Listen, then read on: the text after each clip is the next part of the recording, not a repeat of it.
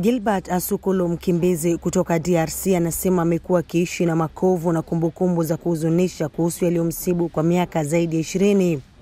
Kuwa mkimbizi hakukutatiza ndoto yake ya kujiendeleza licha ya kukosa uhuru kama raia wa nchi ya Kenya.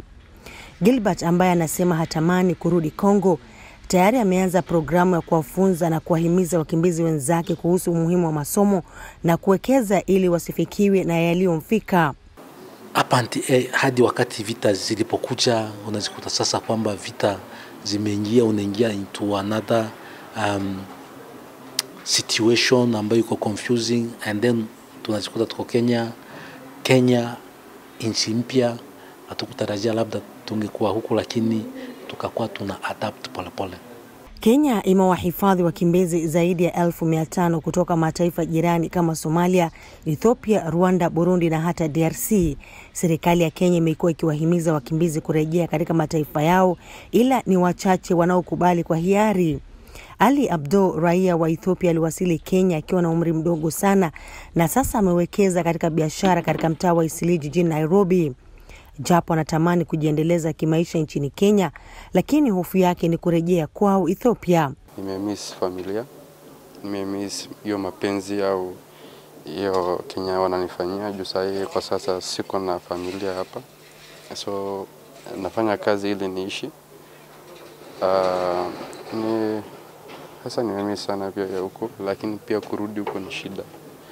Ni kama sasa unachagua kifo kama unarudi huko.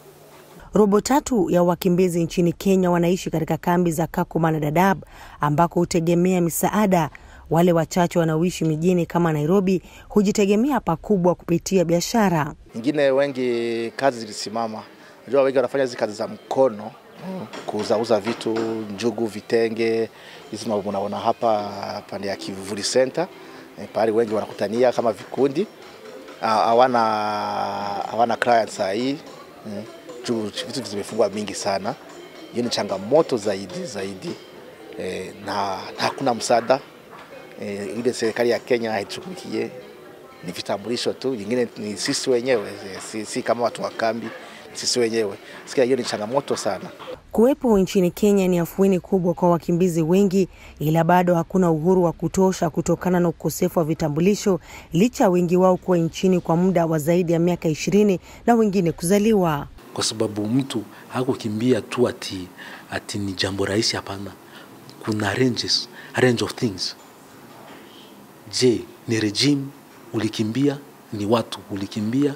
Ni nini ulikimbia? Kwa hiyo hayo yote yana anyway, yana yanahusika na kujibia hilo swali kwamba utarudi ama hautarudi. Je, nikirudi leo, wale walioua, waliotafuta, walio, kwa sababu kuna watu wengi sana huko tumepoteza kama vile na jamii. Huba Abdi, VOA, Nairobi.